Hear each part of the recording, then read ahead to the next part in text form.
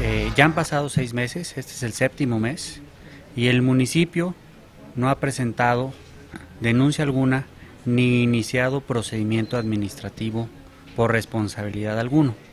Esa es nuestra preocupación.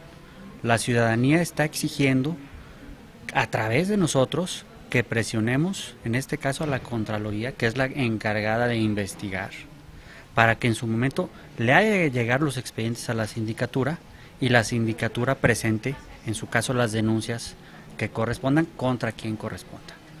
Eh, de viva voz, la Contralora que lleva aproximadamente un 95% de avance, pero que no nos puede dar una fecha en la que iniciará los procedimientos respectivos.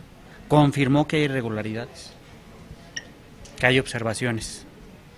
Nosotros combinamos por nuestra parte a la Contralora pues para que ya le dé celeridad.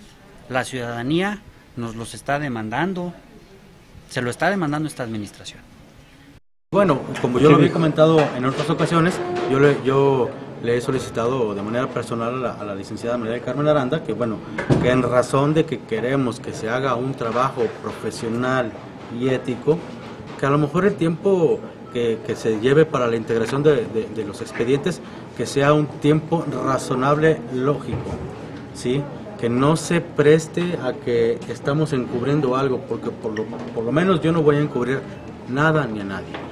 Ella nos explica que todavía se está trabajando en esto, que necesita un poco más de tiempo para poder consolidar. Entonces sí le externamos la preocupación que tenemos eh, como fracción de que esto pues se agilice y pronto podamos darle respuesta a las peticiones que hace también la ciudadanía.